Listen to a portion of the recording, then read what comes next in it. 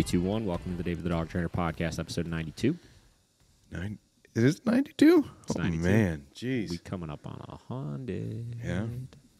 Um, for everybody that's listening to this on the Spotify and is not watching this on the YouTube, Josh bought a new coat. I did. I did. I, I'm uh, part of the Patagonia family now. How does it feel? Have you owned any Patagonia things before? Never. Wow. This is the first one. And uh, like I told you, was it me or you? I think that was you. Okay. Get out of here, phones. Um, I, I sent you a picture, right? Mm-hmm. And you were like, buy it immediately. Like, you, I don't do think it. you said anything else.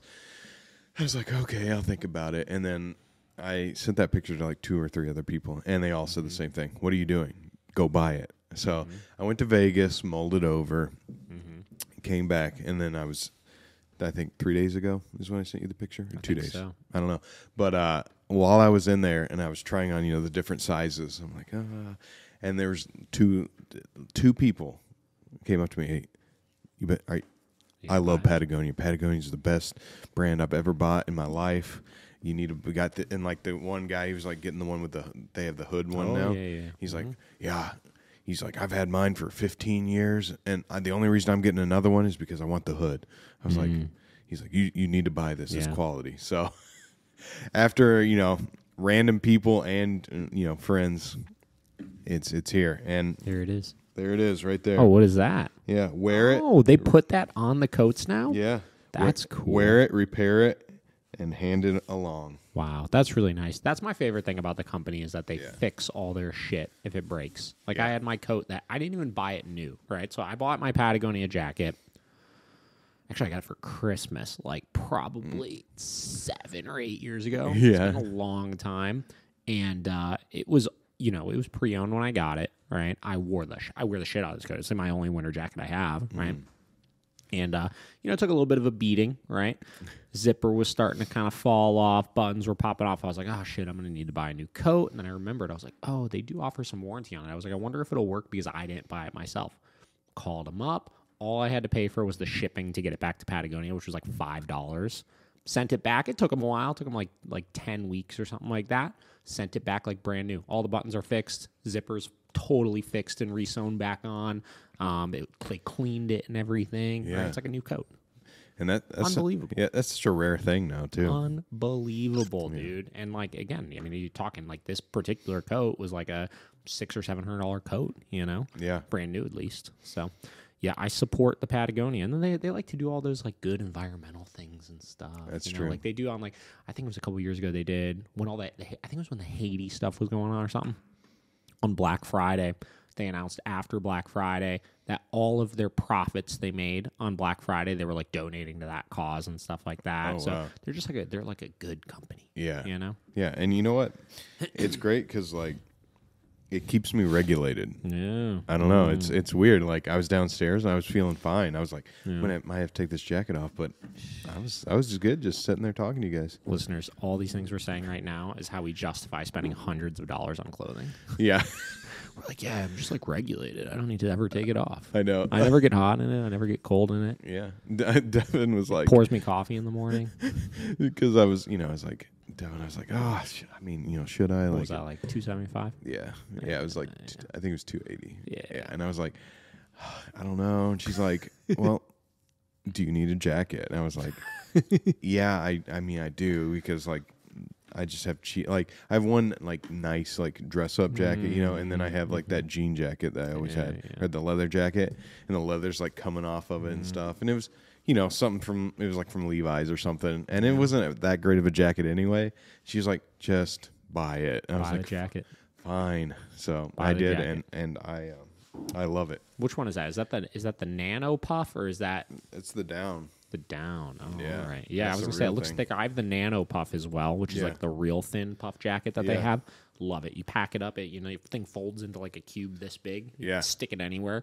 Pretty warm, right? It's a nice layer. Yeah. That one's like the in between. That one's like a little thicker Yeah. than the one I have, but obviously not quite as heavy as the winter jacket. And dude, so much pocket space. Oh, yeah, yeah. Like the, the front pockets are huge. I could fit anything in there. Yeah. This uh, podcast Sponsored by Patagonia. it should be at this point. yeah. We're believers. I'm a I'm a big believer though. Yeah.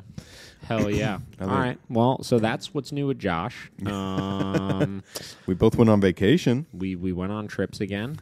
Had a lot of lot of travel this year, man. Yeah. It's been good. Also, how many weddings have you been to this year? I think we went to seven. Gee.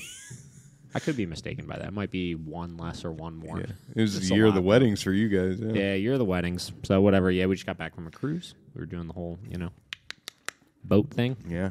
It was fun. Ate a lot of food, I'm sure. Ate a ton of food, and now we're back at it. Yep. So sorry for the delay, but here we are. we're, we're back to our regularly scheduled programming. Mm-hmm. Okay, so we've got a couple things to talk about today. Um, I feel like you know there's not a whole lot that's been new in the last couple of weeks. You know, Yeah. really. So you know, it's interesting. We've had a lot of guests, obviously, over the last couple of weeks for podcasts. So I feel like we haven't had a whole lot of episodes where there's just been a like, let's just kind of shoot the shit, if you will, right? Yeah. Kind of see what comes up, see what we talk about, stuff like that. You know, obviously the only one that we did that wasn't a guest one, I think, in the last month was the one where we talked about like the Tennessee thing and everything, and even that one was kind of like a scripted podcast, if you will, right? Yeah. So today we're just going to kind of get into just general things going on, right? So um, first thing, right off the top of my head uh, that I could think of, I uh, I made a post yesterday. Um, last night I was I was training some dogs last night at the shop, and I was doing some socialization with one dog we have in right now. Right, his name's Milo. He's like a little I don't even know what the hell this dog is, man. He's a little little scruffy uh, mutt dog. Yeah. Whatever. If you're listening, Milo's owner, I'm sorry. I don't know what he is. I just don't know what he is. I don't know what he is.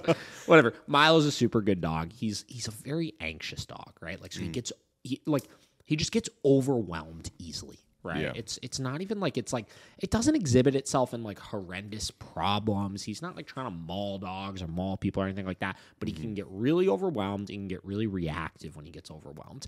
I think if I'm not mistaken, like in the owner's contact form that she filled out uh, or his questionnaire that she filled out before she sent him for a board and train, this was starting to display itself. Like he used to be really social, like at daycare. I think maybe something kind of happened. It started switching a little bit. He started getting into scuffles at daycare. She started trying to socialize him on her own a little bit, and he started having some problems there, right? Um, and again, it was like kind of snapping and going after dogs. Like again, not trying to kill them, no serious injuries or anything like that, but just like acting out, right? Yeah. so she sent him to us, you know, try to get some confidence, try to, you know, socialize him a little bit, see if she can figure out a way to kind of improve on those skills and stuff. Uh, and he's been doing great, right? Like, you know, again, we've seen some of the anxiety come out of him, like as he's working through training. It's like when you start something new with him. Here, here's the interesting thing, right? So I think some people, um, you know, they look at, let's say we're posting a video of a dog, right? And we're talking about the training process. Let's say the dog looks anxious or nervous or they're kind of shaking a little bit or, or whatever, you know, panting a lot, bug eyes, things like that. Their brain immediately goes to, um, you know, we're, we're correcting the dog really firmly, this, that in a lot of cases, some dogs that struggle with anxiety issues, just the process of learning something new is really stressful, you know? And Yeah. we'll even see that like with some of these dogs. Like we'll get a dog that comes in sometimes that's really, really anxious, where we won't even use a training tool with them for that first week. It's mm. just like, let's try to build up motivation. Let's use some food. We're just walking the dog, socializing the dog, stuff like that. And they'll still like look really stressed out, right? Mm-hmm. And again, it's just the process of their brain being like, I need to compute this, but it's like, it's not connected. Yeah. And, and it turns into problems, right? Mm. So this dog's kind of like that, right? Mm. He just gets overwhelmed and kind of like internalizes those emotions and sometimes can just like let him out, Yeah, you know? yeah, yeah. And it's like, "Rah, rah, rah," right? Like, and he like reacts out the window and, and lunges at the other dogs and, and this and that, right? So whatever. So where I'm kind of going with this is working him through the process. We're starting the process of socializing him, right? And as with any dog that we have any sort of concerns that like this may turn into something, you know, the dog may uh, act aggressively, the dog may try to bite another dog, this, that, we put in place safety protocols like muzzles, right? So we've incorporated a muzzle a lot with this dog, right? And we've kind of alternated between muzzled social time and depending on the dogs we're introducing him to, taking that muzzle off, like, you know, halfway through the socialization, things like that, based on again the um, how many dogs we're socializing him with, the temperament of the other dogs, et cetera, et cetera, et cetera, right? And it was kind of jogging this this mentality in my head. Like I made like the post I made, let me just read it real quick. Yeah. Pull it up. Pull it up. All right, where's it at? Okay. So I said Milo bounces back and forth between using a muzzle and not using a muzzle, depending on the group we're putting him with and the temperaments of the dogs he meets. He's by no means an aggressive dog, but can get overwhelmed easily and make poor decisions, so we make sure we play it safe until we're 100% confident with the individual dog he's around. This method has allowed him to meet more dogs and have more positive interactions than he's been able to in a very long time. I'll talk about this in detail in the podcast tomorrow, right? Boom. So it was just kind of it was spark. You know, I was watching him socialize, right, and I was watching him like play. Like he was, you know, he had the muzzle on and he's like having fun. You know what I Yeah. mean? Like he's going and like sniffing and hanging out and like, you know, butts wiggling and stuff like that. Mm-hmm. And like every now and then he would do this little because I, we had him with a totally new group yesterday, right? It was like, and it was like rambunctious puppies, right? Yeah. Like we got this freaking Vizsla puppy in right now, this boy. other like pointer puppy, um, this little guy that's all freaking crazy and fast and stuff like that. And I had him out with like the wild group, Yeah. right? High and energy. like like every now and then like they'd be playing and running and they'd come barreling past him like crashing them right? And he'd like let out this little right? And like he'd like like growl and jump to the side for a second. It's like it's like no fucking big deal. You know what i mean? It's like you're he's fine right? He didn't do anything wrong. The other dogs don't give a shit about it right? Yeah. but but like sometimes as trainers we can feel this pressure put on us whether it's um, just the pressure from like what we think the dog should be able to accomplish if this dog should be at x point by now right or this pressure of like the owner is expecting this dog to be just perfect with other dogs by the end of this or whatever right and like Yeah. like we could feel this pressure of like oh but like is he going to be off of the muzzle? You know what I mean? And it's a Yeah. and it's a question, and it's like I I clarify like. I, I understand why owners ask this question, but it's like sometimes we'll like, you know, we'll see the dog is enjoying themselves, having a good time. We're putting in place safety protocols. We're using the muzzle. Maybe we're even using the muzzle more than we probably even need to, right? And it's like we'll send that video over because the dog's making progress, and they'll be like, "Oh, well, have you done it off muzzle yet?" And it's like, That's what you're worried about. no, no, no, no. And it, I, again, I get it. Yeah. Right. I truly get it. Like we want our dog to continue to progress, and for to, to, to- in their credit, right. Mm-hmm. We've been kind of brainwashed through things that are posted on social media and things that people tell you and stuff like that. that if you need to use a muzzle, there's something still wrong with the dog. Yeah. Right. But because we continue to use the muzzle with this dog, we've been able to overcome those hurdles of when he does get overwhelmed with things in a super non confrontational way where both he, the other dogs, ourselves can really truly see that some of those behaviors there's nothing to be concerned about yet. Right? That time that those puppies come barreling past him and crash into him and he lets out a little growl or kind of runs over and shows his teeth a little bit or something like that because we've put him in so many of those situations and he's been able to be in that situation and be like, wait a minute, I don't need to control this situation because nothing that bad is happening. Mm-hmm. Nothing's happening to me.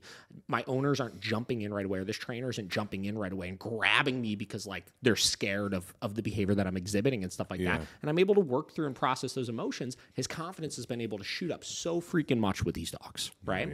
And and I really want people to start looking at and this is even like you know this is even something that i'm working on with myself right? I want i want people to start being okay with when you have that dog that has issues with other dogs seeing the muzzle as more of a positive mm-hmm. right? This is the same mm-hmm. exact thing as we had a client in from colorado recently right? And we posted the before and afters of him learning to play and socialize with the other dogs and stuff like that. And the owner was very hung up on the muzzle still right? She was like oh, but like I really want him to play without the muzzle. It's like, but like before this, he wasn't able to play at all. He Yeah. wasn't able to interact with other dogs at all, right? Mm-hmm. And now we have this way where maybe he's a little bit restricted because he has it on, but he could continuously be put in these situations that were challenging for him and that he couldn't be in before. And he could learn to be comfortable in that environment. And you could learn over time to trust him more. Mm-hmm. You know what I mean? Yeah. And that's all because of the muzzle, right? And I want to start looking at the muzzle no different than we look at some of our other training tools. Because even myself, again, I told said I'm kind of working on this a little bit. I've even separated muzzle from like our e-collars or our treats or things like that. You know what I mean? It's like a separate training tool to oh, us because we look at it as much more of a short-term thing than those things, mm-hmm. right? E-collars, like when your dog goes home from training, right? If you're doing training with us, because we do e-collar training, right? We tell everybody the e-collar you're going to use forever I use them with my dogs, right? Yeah. Like if I, if I go, you know, somewhere that I'm going to need to do training, I implement that e-collar with them. Mm-hmm. And over time, maybe they had a little bit of a negative association with the e-collar initially because it's like, you know, it's this this tool that like is you know creates rules and boundaries. It means we're doing training, and sometimes it's not always fun, and this and that. But over time, the dog starts to get excited when the e-collar comes out. Right, classical conditioning takes place, Yeah. and it's like e-collar comes out. Man, now that the training's done, we get to go do something fun. Yeah. Right? E-collar comes out, we get to go to the park, we get to go run and chase the ball, we get to go to grandma's house, Mm-hmm. Yep. right? Yeah. We get to go fucking, you Yeah. know, do, get, eat a bunch of treats in a training session, things like that. Mm-hmm. The muzzle can start to turn into that as well with a lot of these dogs, Mm-hmm. right? Um, and I have a client that's the perfect example of this that I'll talk about in a minute, right? But um, the muzzle can turn into this. Yes, initially the dog isn't going to like the muzzle. Why the hell is this thing over my face, right? That's holding me back from maybe biting this other dog or doing something else that I want to do. And, you know, it's restrictive and I don't like it. But mm-hmm. as these owners use the muzzle more at home and the dog starts to see it as meaning more freedom, right? The muzzle means more freedom. The muzzle means I get to go to the dog beach. The muzzle means I get to go play with the neighbor's dog. The muzzle means I get to go to uh, this daycare and socialize, et cetera, et cetera, et cetera. Yeah. It starts to create the same positive association. Right? So I want to start looking at these muzzles as more of a positive and a long term solution to some of the problems that you're having because if we're in a position where we're so mentally like I need to get off of this muzzle, that's where bad things happen, right? We've made a post before. One of our most popular little clips we posted was one where I was talking about using the muzzle. You should use it until it literally feels so fucking stupid that you're using it that you start to take it off then at Yeah, that point, right? 100%, And yeah. that takes a long time for some dogs. Oh, yeah. right? And for some dogs, the muzzle may be the way that you socialize them forever. I'm not talking about Milo in this case, obviously. Yeah. But a more serious dog, maybe every time you socialize the dog, you use a muzzle with them. Yeah. Right. And they can make friends and enjoy themselves. And we post videos all the time of dogs playing with the muzzle on and having a good time. And the dog is not thinking about it like you're thinking about it at Mm-hmm. Yeah. that point. It's just the thing that allows them to go and be a part of things. Yeah. Catch my breath. you got anything to add to that? No, I, I, I think the the the biggest takeaway from all that really was the the positive association that could be, um, you know, Im- impacted on the the muzzle. You know, um, I do think a lot of people think it's always a negative thing. It- mm-hmm. It's a negative connotation, like, oh, they're being restricted and mm-hmm. oh, they're going to hate it. But yeah, like if you have a dog that could never do anything, mm-hmm.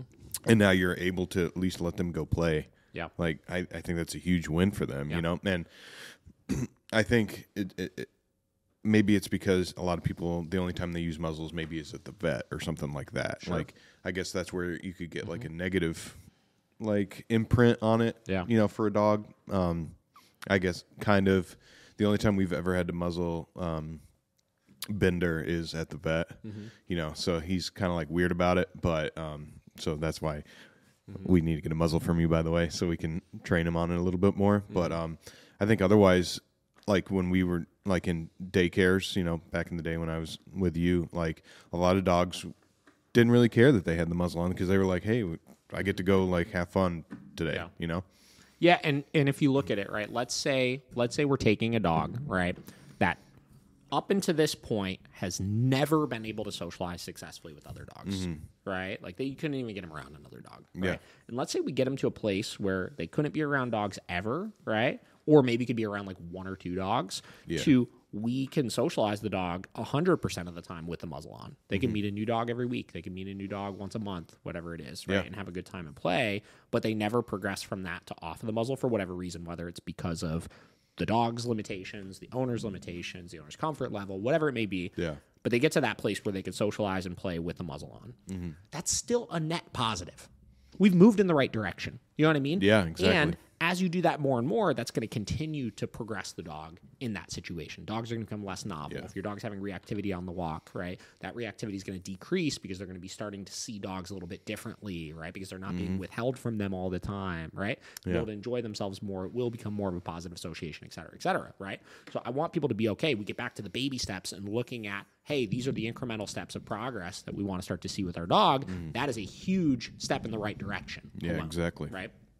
Other point I was going to say, you mentioned positive association, right? And biggest takeaway being, right, over time, it will start becoming a positive thing to the dog. I think the other thing with muzzles, too, is some people get so hung up on the dog has to have a positive association with the muzzle before we start using the muzzle. That's right? true. Yeah. So they get so hung up on, well, the dog hates the muzzle and isn't playing right now, right? It's like, Mm-hmm. well, this is the first week they've ever needed to use one in their life. Like, of Yeah. course they're not going to like it. No different than the e-collar, right? Some people get so hung up on the dog should have only a positive association with the e-collar, right? I'll Yeah. tell you, Deli, my one dog downstairs, right? She fucking hated the e-collar for the first like month that we used one with her. Yeah. Right? Because again, it meant rules. It meant you're probably going to get corrected for something because you're acting up, right? And doing Yeah. things that you shouldn't do, Yeah, right? 100%. But again, as we got past all those things, that's where the positive association started to get created. And it's a more organic positive association, right? It's more organic because it's not forced of like, I'm bribing you and begging you to like this thing right now. It's Yeah. just that she started realizing on her own. Again, that when that thing comes out, when it goes on her, it means we're doing fun shit. Yeah. Right. And that is a mm-hmm. way more organic thing than the dog absolutely needing to be pumped with treats Yeah. right in order to like that tool and again this is nothing against people that use treats and training it's just again the general philosophy of how the positive association is created in the first place Yeah. so I, I I don't know. You know, that's that's one thing that was really kind of rolling through my head yesterday and something that I think a lot of trainers and a lot of owners struggle with, right? A mm-hmm. lot of issues uh, that trainers will experience come from feeling the need to fade that muzzle out too fast. And a lot of the things that hold owners past or hold owners back from seeing a lot of the success they want to see with their dogs is either not wanting to use the muzzle in the first place or trying to fade that muzzle out too fast. Right? Yeah. Yeah, and I was going to use another dog as an example, right? So, like, I I genuinely think one of the, and and I'm sure she's going to listen to this podcast. She'll be like, "Oh, this is so cool." I genuinely think one of the best examples of a dog that really started getting me thinking about this whole concept, right? Because again, these are all things like as trainers we think about, but it's like sometimes like something will be like right in front of your face that you're like, oh, like like you really you're able to articulate and verbalize it a little bit more, right? So we had this mm-hmm. dog who we worked with, did some training elsewhere, right? Did great training elsewhere. Again, every time I say that, it's like it's not that we're digging on the people that did the training by any means, right? They did a very good job with the training, but the dog never was able to be socialized. Never. That's just it wasn't on the radar, right? And I think a lot of trainers, and especially a lot of old school trainers, if a dog comes in with aggression issues, their mentality behind working through those aggression issues is not, wow, we need to get the dog to a place where um, you know, the dog can interact with other dogs. Their mentality goes to, well, the dog doesn't like other dogs, so we're not going to socialize them, but we need to get mm-hmm. them neutral to other dogs. Yeah. Meaning Yeah. they're not going to make progress here, probably. You're not mm-hmm. going to change the dog, right? Yeah. But what you will be able to change is you'll be able to get your dog to ignore the other dogs, right? Mm-hmm. Which may be true, right? But sometimes you're fighting an uphill battle with that. If you're not addressing the social side of things as well, that's where a lot of the force free community gets into you're not addressing the root of the problem. The root of the Mm-hmm. problem being the dog doesn't know how to interact with the other dogs properly, which is causing all that stress and frustration and making them react in the first place, Yeah. right? Does that make sense? Am I losing you? No, no. Okay. I got it. So, whatever. So she did training, kind of in that philosophy. Okay. like, just get your dog to ignore the other dogs, Yep. right? And made good progress, but still was kind of struggling a little bit with it, right? Dog came in for maybe four sessions. And we did a little bit of brushing up on the actual training, right? She needed a little bit of help being able to discipline the dog a little bit more effectively for stuff. But majority of our focus was on socializing this dog. Mm. Let's get your dog some fucking friends Yeah. right? like let's let's make it so the dog's life isn't you and that's it. Yeah, in the house for sure. right? And showed her how to implement a muzzle, right? Went and started, you know, uh, setting up play groups with the dog. The dog was a little reactive, but like it was clear as soon as we did that, this is not an aggressive dog. This is a dog that can bite people, right? This is a dog that can bite other dogs for sure, right? But the dog does not want to just attack other dogs and like go ham on people and stuff like that. That's not Yeah. like it's not like in this dog's DNA. The dog just is insecure and lashing out when it gets overwhelmed, similar to Milo, mm. right? So showed her how to use that muzzle, showed her how to communicate with him a little bit better, and she just took the fucking reins with that and just absolutely went went bananas with it, right? Yeah. Like almost, I don't even know if it was on this podcast that I talked about it, but like she almost did it like over the top, like what I typically would mm. recommend as far as damn. like I, she starts sending me videos of like her dogs at the dog beach. She's like at the dog park. She's at like these like pack walk play dates. She's setting up stuff like that, like socializing him everywhere. And I was like, yeah. whoa, like pump the brakes a little bit, but that's fucking sweet. Right? Yeah. I was so pumped on it because like like he was just he was having such a good time. Mm-hmm. You know what I mean? Like like like she we got past those initial hurdles. We got some of that initial nonsense out of her system and I taught her, right? Hey, you don't have to be so afraid of all this stuff he's doing because that's really the root of a lot of this problem is people see the lashing out and the reactivity and stuff like that and they immediately get scared of it and stop socializing the dog because of it. But I showed her, listen, the first couple times you go to do this at home, the first time he meets this dog, he's probably going to snap in their face, right? He might growl at them, right? He might let out a little air snap. Like he's not going to go after. He wasn't going Yeah. after them or anything, but like he's probably going to do those things, and that's okay Mm-hmm. because that's dog communication Yeah. right? And as he does it and is put in those situations more, we will see the net positive of that behavior will go down because he just gets more comfortable because he's in it more, Yeah. right? And like I said, she took the reins and just fucking, just fucking did it, dude. and she socializes this dog all the fucking time now. Like Yeah. she is constantly, I would say once every couple of weeks to this day. This was maybe a year ago, maybe a little, no, yeah, I Oh, think it was beginning of last summer, maybe. Okay. I don't remember. Yeah. It's been a while, right? Yeah. Um, she still to this day, every couple of weeks, will send me like some sort of picture or video of like, hey, here's this new thing that I wasn't able to do before with him, right? And Nice. still, in ninety percent of situations, she uses the muzzle with him. But she didn't let that mentally hold her back. And that's what I think was so inspiring about her story to me, right? Like, again, I'm learning stuff from my clients all the time still, right? Mm-hmm. Oh, yeah. How they receive information, all that kind of stuff, you know, how they take that information and implement it. Um, that was that was one of the biggest things that I think I've learned in a, in a while was Mm-hmm. watching her progress with that dog and really seeing how she did not let that become a crutch in her mind Mm. and she took that information and those safety protocols that she needed to put in place and she just took them and just fucking ran with them Mm-hmm. and lived such an unbelievable life with her dog now and her dog lives such an incredible life because he could do so much stuff now because of it right? Yeah. and I'll tell you that dog doesn't give a fuck that he's wearing a muzzle Yeah. he doesn't give a fuck at this point Yeah. And like, there you go. Let's compare it life before to life after. Like, Uh, that I dog's mean, life has hundred percent net positive. Yeah. Yeah, exactly. And, and and like you said, like if you get too hung, like if she, you know, had gotten too hung up on that muzzle, like, oh, well, maybe I should ta- take it off, or take it off. yeah, yeah, you- Or I just don't want to use it. You know, like because the first couple ti- again, the first couple times you use a muzzle with your dog, your dog's gonna look a little scared with it. Oh, he looks Yeah. so scared with it. on. He looks so nervous with it. on." Yeah. It's like again, the net positive of continuing to do it and him starting to realize through that classical conditioning of being muzzle goes on, I go do something fun. Muzzle goes on, I do something fun. That that attitude changes so fast. yeah, You know. exactly. It's huge, man. So huge, right? And like, Yeah, that's sick. we have, you know, what's interesting. So this round of board and trains that I have in right now, I feel like my last round that I had in, they were all like social butterflies, aside from one who wasn't even that wasn't even that bad. Yeah. just kind of a little nervous. They were all social butterflies, so I was really focused on just their training and stuff.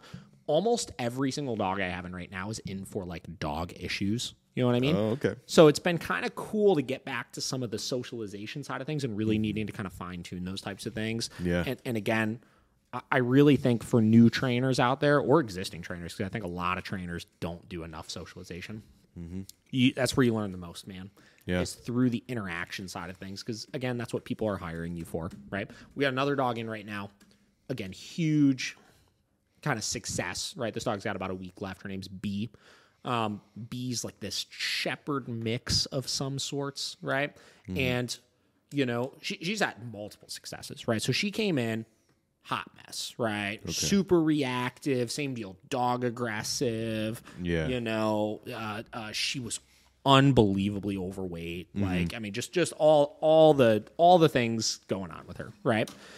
so from a training standpoint, she seemed to pick everything up pretty well. Like it wasn't like it was a wasn't like it was a major like feat to get her to start doing some of her commands and stuff like that, get her to focus in. Um, she was very receptive to corrections, so the reactivity we were able to kind of stop pretty easily.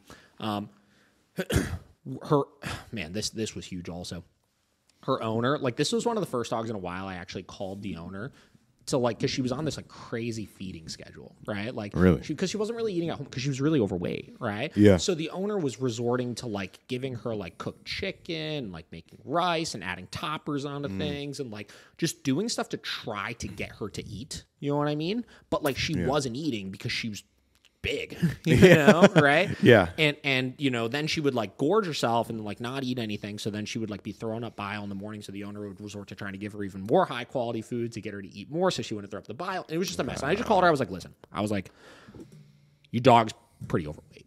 You know, I was like, I I saw you're adding all these toppers, you're doing all these types of things. I was like, I want to cut all of it, right? Like, I want to just get her on just like baseline kibble, right? Mm-hmm. And I want to just get her just eating a normal, balanced diet. Dude, this dog looks so freaking good right now. Yeah. Right? Like, she still got, like, in my opinion, I would like to see her lose maybe like four more pounds, something like mm-hmm. that. But, dude, from, I, I, I don't even know. We might have some before pictures of her. I'm sure I have a video somewhere. But this dog, dude, I, I took her out yesterday to work. It was the first time I really noticed it. You mm-hmm. know, I was like, oh man, she got like a waist now, right? Like she mm-hmm. looks healthy. She's so much more active and stuff oh, because yeah. of it. And man, I used to talk about this so much more before, but getting your dog's diet under control. Again, it's one of the most emotionally charged things for so many owners, right? The- oh, like like some owners like are so they have so much emotion wrapped up into the weight of their dog. it's crazy, right? It is so Yeah. crazy, right? But getting your dog's diet under control can be one of the single best things that you do for their behavior, right? Mm-hmm. I equate this to all the time, right? If you're eating garbage every day, right? Or you're eating again, I was on this damn cruise, right? At that buffet in Yeah. the cruise, right? You know this, right? Come Oh, yeah. Right, you're at that buffet. You're like, yeah, give me a little bit of that Indian over there. Give me a couple cheeseburgers over there. right, every night you're like laying, in Yeah. like, oh, fuck. Yeah. Gorged. You're not gonna be in the best spirits and attitude if you're eating like that all the time. Yeah, to say the least. You know what I mean? It's the same deal with dogs, right? You talk about anxiety issues, right? You talk about fear issues. You talk about the dog just being stubborn, all those types of things. Your dog having an unhealthy diet can equate to so much of that kind of stuff, right? Yeah. And it's so cool. Every time we get a dog like her that comes in that is pretty overweight and we get on a good diet, we get them exercising more through playing and walking and all that kind of stuff, how much their attitude just improves, man. It's so cool. So mm. so that's been one huge thing with her. Like I said, training has been going really well, but getting this tying this into the socialization side of things we've been talking about massive social hurdles, right? Again, mm-hmm. same kind of thing. We started her on muzzle as we were kind of getting used to knowing her because the owner said she's kind of aggressive. She went after some mm-hmm. dogs, this, that. Mm-hmm. Not an aggressive dog in the slightest. Dude, she's kind of like a, she's a little, I think, I think she, actually, I don't, I don't know exactly how old she is. She looks like she could be a little bit older, right? Okay. Um, she's just a fucking police officer. You know what I mean? Like the other dogs play, she wants to run over. Yeah. right? Like, and again, any of those types of things, as an owner, if we don't understand them, we can get scared of those things. And mm. she goes to run over and try to play police officer. Our go to is always, oh, no, no, no, don't do that, B. Right? And we go and grab the dog, try to pull him away. And then the dog takes that kind of police officerness and kind of rolls with it. And that's where you mm. could see it turn into like actual like outbursts of aggression and stuff. Okay. But not a fucking, not a bad dog. Yeah. Um, same deal. So she kind of for this entire stay so far has been fine, right? She hasn't given us any problems. We've hardly needed to use a muzzle with her because she really didn't give me any sort of concerning signs, right? But she would kind of like either just do her own thing or just kind of be police officer a little bit or something like that. Um, a couple days ago was the first time I really saw her like start playing. Okay. You know what I mean? Yeah. And that shift when you see it with these dogs, especially these ones that like never in a million years like play with other dogs. Like I think she had a couple dog friends before, but I remember I texted her mom uh, a little bit ago, and I was like, "Oh yeah, she's starting to make dog friends. Like she's doing well with the other dogs." And she's like, "Oh my god, Mm. bee and dog friend are two words that I never thought I'd hear in like the same sentence before." Yeah. Right? But the second we see them shift from just being like just kind of chill and like doing their own thing to like actually getting playful, it's Mm. such a cool moment, dude. Yeah. It's such a cool moment. We posted a video of that as well, um, of her just kind of loosening up and and running and playing. And it's so funny with these dogs, dude. Like when she started playing, it was like the fu- like the funniest play ever because like these dogs like, like they have no clue what they're doing, right? You see this thing like switching their head and they're just like, it's just. just get kind of crazy, you know. yeah. So that was that was for sure cool. So those are two. Yeah, I mean, those that's kind of what's been going. You know, that's Yeah. those are my thoughts. Yeah. Those are my last week thoughts, Been getting your Brandon Fouché on. dude. I've been getting the Fouché on, so that's been pretty cool. Yeah. No, that's uh, I I think that's always my my favorite transformation is when you see like that first week or whatever where you know they're timid, they're kind of just on the outside of the play group and not really engaging and then it's finally, you know, the dogs keep nudging at him, and then they finally break and they're like oh, you're not, you know, this is this is fun. I'm having I'm having a good time, and you can like like you said, it's like a night and day difference. As soon as they Yeah. like get it, you know, and you can tell that they're having a world of fun, you know, and and their mentality like is reworking in their brain of the, how they socialize and stuff. dude that's totally it you know? And, and the same thing can be said about socialization with people right? Where we talked about a lot of trainers and even we do this as well initially because sometimes we need to just like get some control over the situation right? A lot of people will focus on you know let's just get our dog to coexist with new people in our house Mm-hmm. as opposed to focusing on interaction which the coexistence is a very important first step right? Yeah. again we have to make sure we can keep our dog under control around guests and give them that ability to kind of just get used to the person being there before we start the socialization process. But at some point we have to move to the socialization process right? And again it's so cool to see the progression when we see our dogs go from being really timid around our guests in our house to actually making like legitimate friends Yeah, you know what I mean? Like, like as trainers, we don't like to be like your dog is. There's not their friends, right? Like they're just excited to see you, or they're controlling, or this or that, right? But like, we could humanize it for a minute, and we could talk about like, yeah, like once your dog has a handful of people that they see as like really cool, right, or mm-hmm. really fun, or they really enjoy being around them, mm-hmm. that's where we start to see that whole mentality shift and the generalization process get easier and easier, right? Because you know, again, I've talked about this before. Dogs don't generalize very well, right? Meaning, mm-hmm. I could teach a sit in this room, but that doesn't mean they're going to know it in this room, in this room, in this room, in this room, right? We mm-hmm. have to go through a process of teaching it here, then teaching it here, then teaching Yeah. it here, then teaching it here. Then they start to see everything is the same, right? Yeah. It's the same thing with socialization, mm-hmm. right? Sometimes they make one really good friend over here. A lot of dogs that come in that have aggression issues, they have that one dog that they're mm-hmm. really good with. The dog's like, yeah, the neighbor three doors down, they love that dog, right? They go mm-hmm. over and they play with them all the time yeah, but they can't generalize that relationship to another dog or to another dog. But the second you get that same relationship with a second dog, right? And then mm-hmm. with a third dog, and then with the fourth dog, and then with the fifth dog, then the dog starts going into social situations expecting to have the same experience because they've started to generalize it to that, yeah, right? yep, And that's an important process of things or an important part of things and something to be very aware of as you're working through social issues, mm-hmm. right? Your super aggressive, you know, German Shepherd may really like Aunt Susie that comes over, right? Yeah. Or Uncle Bob that stops by once a year or something like that. And that may mm-hmm. be the one person they're totally good with. Once we get them to develop that same relationship with another person, and then one other person, and then one other person, again, it starts to get easier. Yeah. I've seen this with my dogs, right? Vinny was that way, right? Vinny mm-hmm. was really weird with guests that came over. Yeah. He's very apprehensive around them. And now literally anybody comes in the house, he just wants them to fucking pet him the Yeah. whole time, right? Deli was similar on a less extreme side of things. She was very skittish around new people, right? Mm-hmm. And, you know, especially with men, I remember when Kate and I first started dating, if like a friend would come over that was a guy that she didn't meet, she mm-hmm. would like full on like hackles up like, "Arr, arr, arr," like bark at them. And obviously we disciplined for that and stopped it, right? But she was very apprehensive around new people. And I, she literally, anybody that comes over, she's like basically crawling into them at this point. yeah, You know? Mm-hmm. So you can make a lot of progress with this kind of stuff. And I think the biggest takeaways from today that I want everybody to have are let's look at the net positives of what things do I need to do to just be in a position to socialize my dog more. Forget that picture in your head of what the socialization should look like. Yeah. Right? Or what your dog's behavior should look like or what tools you're using or anything like that. We just need to be able to socialize the dog.